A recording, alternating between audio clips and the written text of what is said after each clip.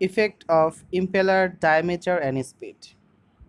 Broad range of applicable flows and heads.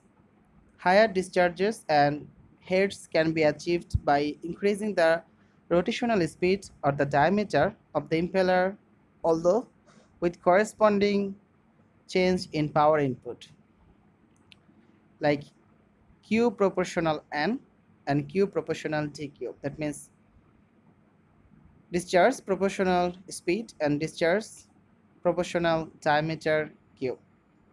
Next, H proportional n square and H proportional d square. That means H or head is proportional to speed square and diameter square. The last one, P proportional n cube and P proportional d to the power 5. That means power proportional speed cube and power proportional diameter power 5.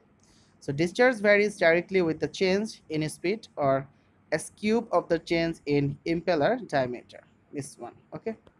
Next head varies as square of the change in speed or impeller diameter. This one. And the last one for power.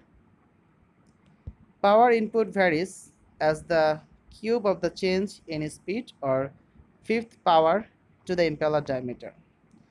For instance the sum speed is doubled discharge will double head will increase by a factor of 2 square is equal to 4 and power input will be increased by a factor of 2 cube is equal to 8